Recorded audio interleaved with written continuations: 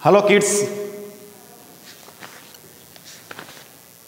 आज हम पढ़ेंगे चैप्टर वन का सेकंड पार्ट पिछले दिनों मैंने फ़र्स्ट पार्ट पढ़ा दिया था. चैप्टर अब अपना चैप्टर है what where how and when उसका सेकंड पार्ट हम शुरुआत करेंगे, उसकी पेज नंबर फोर से. नीचे देखिए you can see finding out about the past past के बारे में, प्राचीन समय के बारे में, प्राचीन काल के बारे में हम पता लगाएँगे किस प्रकार से था, क्या पर, कैसी परिस्थिति परिस्थितियाँ थी, किस प्रकार के अवसर थे। There are several ways of finding out about the past past के बारे में जानने के कई तरीके हैं। One is to search for and read books that were written long ago एक तो यह है कि या तो उसके बारे में पता लगाएँ, या वे पुस्तकें जो कि बहुत लंबे समय पहले, बहुत समय पहले लिखी गई थी, उनको पढ़कर हम पास्ट के बारे में जान सकते हैं। दीज आर कॉल्ड मैन्यूस्क्रिप्ट उनको क्या बोलते हैं? Manuscript because they are written by hand क्योंकि उनको हम हाथ से लिखते हैं। अब मैन्यूस्क्रिप्ट मैनू मीन्स हाथ, और स्क्रिप्ट मीन्स लेखनी।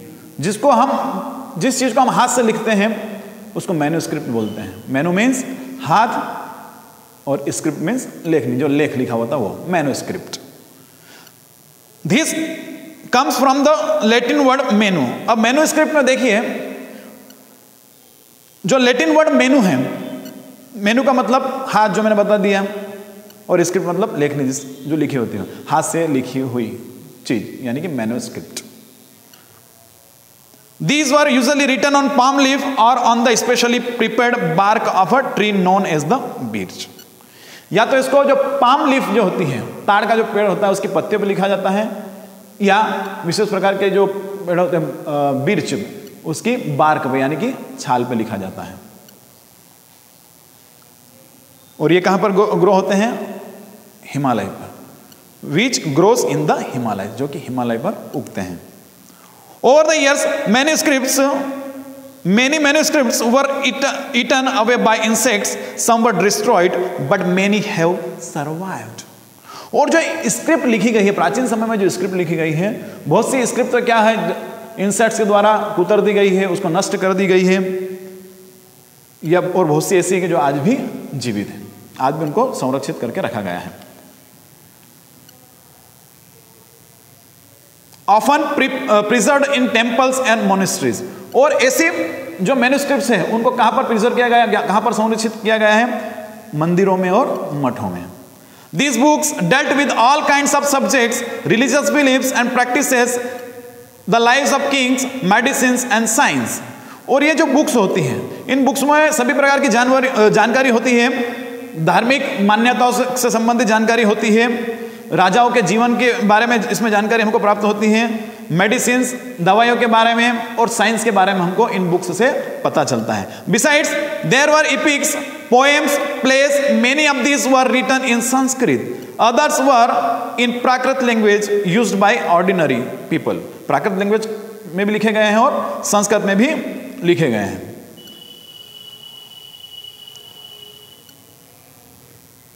We can also study inscriptions और हम शिलालेख के बारे में भी स्टडी करते हैं। शिलालेख अब क्या है? These are writings on relatively hard surfaces such as stones or metal अब जो इंस्क्रिप्शन क्या होते हैं, जिसको शिलालेख बोलते हैं? या तो ये पत्थरों पे लिखे जाते हैं, हार्ड जो मज़बूत पत्थर होते हैं, उस पर लिखे जाते हैं, या मेटल्स धातुओं पर लिखे जाते हैं।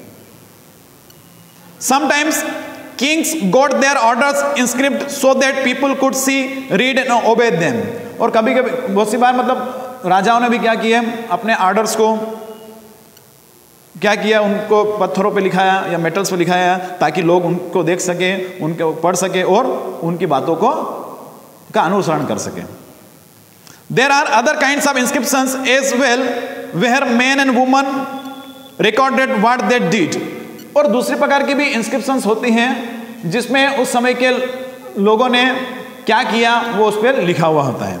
For example kings often kept records of victories in battle example के हम, के रूप में हम लेते हैं कि उस समय जो राजाओं ने जो जीत हासिल की है, जो विक्ट्रीज उन्होंने प्राप्त की है, उनके बारे में भी वो इंस्क्रिप्शन के रूप में लिखते हैं। Can you think the advantages of writing on hard surface and what could have been the difficulties ये तो एक प्रकार क्वेश्चन है।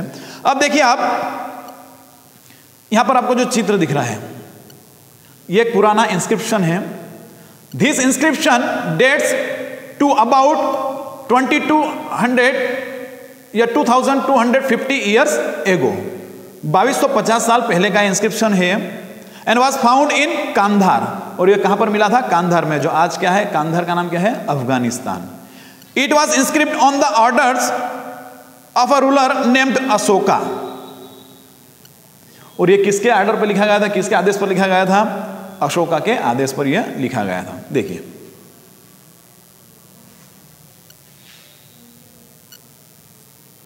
अब अशोका के बारे में हम चैप्टर आठ में पढ़ेंगे। ठीक है। When we write anything we use a script जब हम कोई चीज़ लिखते हैं तो हम स्क्रिप्ट का यूज़ करते हैं। स्क्रिप्ट कंसिस्ट ऑफ़ लेटर्स और साइन और स्क्रिप्ट में क्या होता है? या तो हम उसको अक्षरों के माध्यम से लिखते हैं, अक्षर उसके ऊपर लिखते हैं, या कुछ निशान निशान उसके ऊपर या साइन होते हैं सिंबल टाइप होते हैं उसके ऊपर।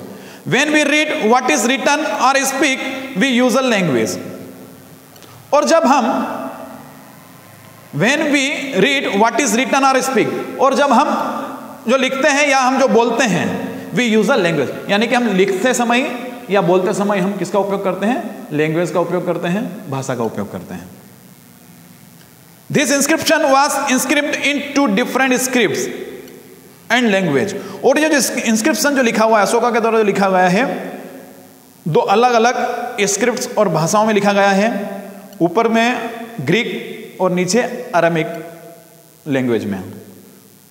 Which were used in this area वो उस समय के एरिया, उस, एरिया में उस समय यूज़ की जाती थी। अब यहीं पर पढ़ेंगे अपन। There were many other things that were made and used in the past बहुत सारी ऐसी चीज़ें हैं जो कि पास्ट में बनाई गई थी और उनका उपयोग किया गया था। प्राचीन काल में या प्राचीन समय में बनाई गई थी और उनका उपयोग किया गया था। Who study this objects are called archaeologist और वे व्यक्ति जो इन ऑब्जेक्ट्स का अध्ययन करते हैं या उनके बारे में बताते हैं, वो क्या कहलाते हैं? Archaeologist they study the remains of buildings made of stone and brick वो उन बिल्डिंग्स का स्टडी करते हैं, उन इमारतों की स्टडी करते हैं, जो ब्रिक से, यानी कि ईटों से और स्टोन पत्थरों से बनी होती हैं। जिसके ऊपर पेंटिंग्स होती हैं और मूर्ति है ना? इसके अलावा बिल्डिंग्स के अलावा पेंटिंग के माध्यम से और स्कल्पचर मूर्ति के, के अध्ययन से भी वो प्राचीन समय के बारे में जानकारी प्राप्त करते हैं।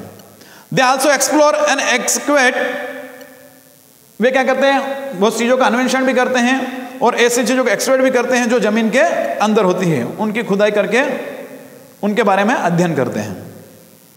और जिससे वो ऐसा क्यों करते हैं? To find tools weapons pots pans ornaments and coins जिससे वो टूल्स के बारे में उस समय के टूल्स के बारे में जानकारी प्राप्त कर सके, किस प्रकार के हथियार का उपयोग करते थे, उसके बारे में जानकारी प्राप्त कर सकते हैं, बर्तन किस प्रकार के होते थे उस समय के, किस प्रकार के ऑर्नामेंट्स जेवरातों का उपयोग करते थे सब हम जान सकते हैं।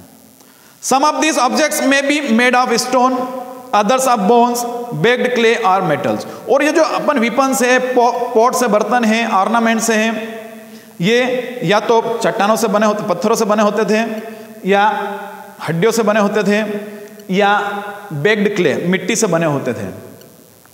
Objects that are made of hard imperishable substances usually survive for a long time ऐसी चीज़ें, ऐसी वस्तुएँ, जो कि हार्ड और इम्पेरिशेबल सॉरी इम्पेरिशेबल सब्सटेंसेस ऐसे पदार्थों से जो नष्ट नहीं होते हैं, उनसे बनी होती है, वो लंबे समय तक सरवाइव करती है। Page number six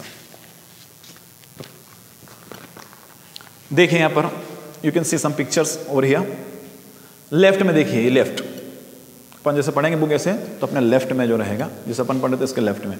A pot from an old city उस समय के, पुराने समय की जो प्राचीन सिटी मतलब ओल्ड सिटी जो थी, पुराना जो शहर था, उस समय इसका उपयोग किया जाता था। Pots like these were used about forty seven hundred years ago और इस प्रकार के जो बर्तनों का उपयोग कब किया जाता था? सैतालीस सौ साल पहले। कब किया जाता था? सैतालीस सौ साल पहले। अब राइट साइड में देखिए। एन ओल्ड सिल्वर कॉइन एक पुराना प्राचीन समय का सिक्का है यहाँ पर। कॉइन्स सच एज दिस और इस प्रकार के सिक्के were in use from about 25 years ago इस प्रकार के जो सिक्के थे 2500 साल पहले उपयोग में लाए जाते थे। कब? 2500 साल पहले। In what ways is the coin different from the ones we use today अब देख, किस प्रकार अब इसका भी पता लगा सकते हैं? सिक्कों को देख के भाई, उस समय के सिक्के कैसे थे और आज के सिक्के किस प्रकार के हैं? अब यहाँ पर archaeologist also look for bones of animals, birds and fish to find out what people ate in the past.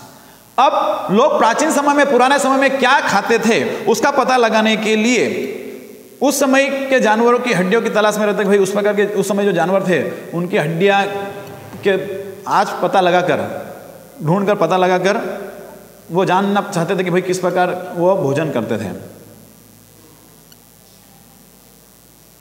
Plants remain survive for more rarely. If seeds of grains or pieces of wood have been burnt. यदि हम जो अनाज होता है, उसके बीजों को या लकड़ियों के टुकड़ों को अगर हम जला दें तो हम प्लांट्स के रिमेंस के बारे में पता नहीं लगा सकते हैं।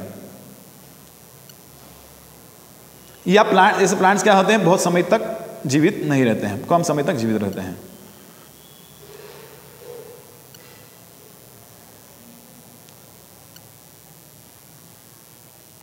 अब हिस्टोरियंस इसके नीचे देखिए historians historians that is scholars who study the past अब हिस्टोरियंस यानी कि इतिहासकार। इतिहासकार वे पर्सन वे व्यक्ति होते हैं जो पास्ट का अध्ययन करते हैं। प्राचीन समय का अध्ययन करते कि भाई उस समय किस प्रकार की व्यवस्थाएँ थी, किस प्रकार की बिल्डिंग थी, किस प्रकार के लोग क्या क्या करते थे, किस प्रकार का खाना वो खाते थे, किस प्रकार कपड़े पहनते थे। वो सभी का अध्ययन कौन करता है? हिस्टोरियंस इतिहासकार।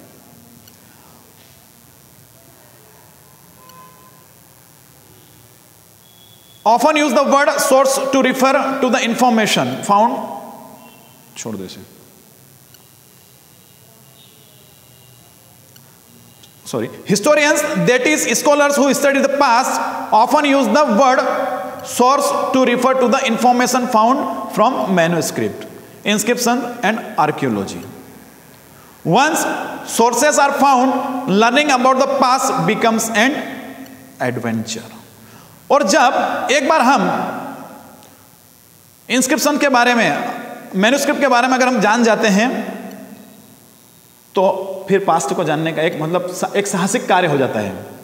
As we reconstruct it bit by bit so historians and archaeologist are like detectives historians और आर्कियोलॉजिस्ट क्या है? डिटेक्टिव भी हम उसको कह सकते हैं, जासूस। जो क्या करते हैं? चीज़ों को ढूंढते हैं। मतलब जासूस की तरह चीज़ों को ढूंढते हैं। जानवर की बोन्स को ढूंढते हैं। पेड़ों की पत्तियों को ढूंढते हैं। जो उस समय जो रिमेन्स जो है उस समय के, उसको ढूंढते हैं और उससे क्या करते हैं? पास्ट के बारे में वो पता लगाते हैं। तो इस प्रकार से हम हिस्टोरियंस को जासूस भी कह सकते हैं।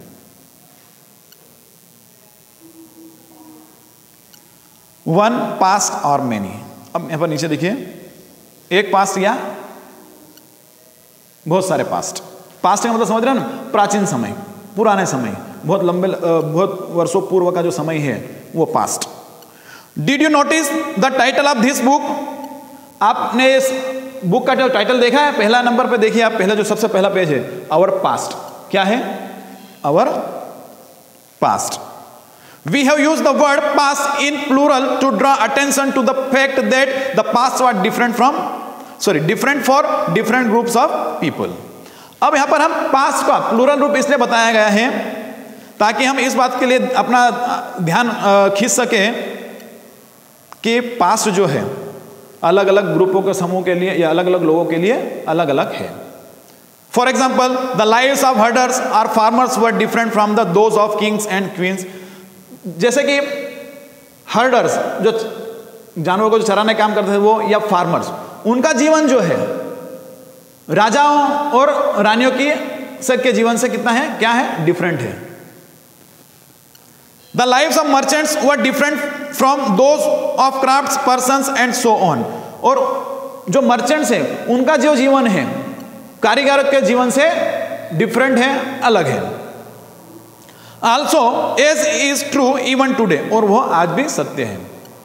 People follow different practice and customs in different parts अलग अलग क्षेत्रों में लोग अलग अलग रीति रिवाजों को मानते हैं, उनका अनुसरण करते हैं। For example today most people living in the एडमांड islands get their own food by fishing hunting and collecting forest produce और आज भी अंडमान आइसलैंड जो है, वहाँ के जो लोग हैं, वो क्या करते हैं? अपना जो भोजन, मछली पकड़कर, मछली कर, शिकार कर और जंगल की जो प्रोड्यूस होते हैं फॉरेस्ट प्रोड्यूस होते हैं, उनको इकट्ठा करके अपने भोजन की वो व्यवस्था करते हैं। By contrast most people living in the cities depend on others for supply of food और इससे, इसके विपरीत हम देखें तो शहरों में ज़्यादा से ज़्यादा लोग क्या हैं? वो अपने भोजन के लिए दूसरों पर निर्भर है। Differences such as this existed in the past as well तो आज इस प्रकार का जो डिफरेंसेस है, आज जो इस प्रकार की जो विभिन्नताएँ हैं वो पास्ट में भी थी। कब थी? पास्ट में भी। Besides there is another kind of difference इसके अलावा एक दूसरे प्रकार का भी डिफरेंस है। We know a great deal about kings and the battles they fought because they kept records of their victories आज के समय में भी हम, प्राचीन समय में राजाओं ने जो युद्ध लड़े थे, ठीक है? उसको हम आज भी हम उसके बारे में जानकारी प्राप्त कर सकते हैं। क्योंकि उस समय जो राजा महाराजा थे, वो अपने जो भी युद्ध लड़ते थे, जो भी कार्य करते थे, उनका वो क्या करते थे? रिकॉर्ड रखते थे। क्या रखते थे? रिकॉर्ड रखते थे। Generally ordinary people such as hunters fishing folk gatherers farmers herders did not keep records of what they did राजा महाराजाओं ने अपने क्रियाकलापों के, अपनी विक्ट्रीज के रिकॉर्ड रखे, लेकिन उस समय के जो किसान थे हर्डर्स थे वो जो दूसरे लोग थे, शिकारी लोग जो थे, वो अपने रिकॉर्ड्स नहीं रखते थे।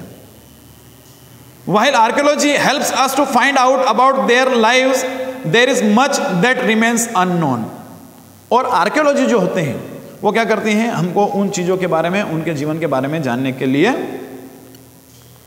या हमको इंफॉर्मेशन देते हैं कह सकते हैं। लेकिन बहुत सारी ऐसी चीज़ें हैं there is much that remains unknown लेकिन बहुत सारी ऐसी चीज़ें जिनको हम जानते नहीं हैं। What to what do dates mean अब डेट का मतलब क्या होता है?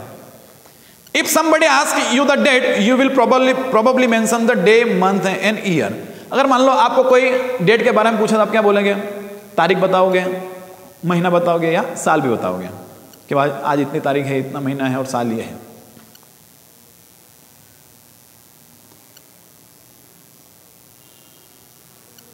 जैसे कि 2000, 2001 या आज का 2019 मतलब 2019 या आज का जो 2020 इस प्रकार से आप बताएँगे। This years are counted from the date generally assigned to the birth of Jesus Christ the founder of Christianity the founder of Christianity और ये जो साल हैं this years are counted from the कब से हम इसको गिनते हैं? क्रिश्चियन जो जीजस क्राइस्ट है उनके जन्म से।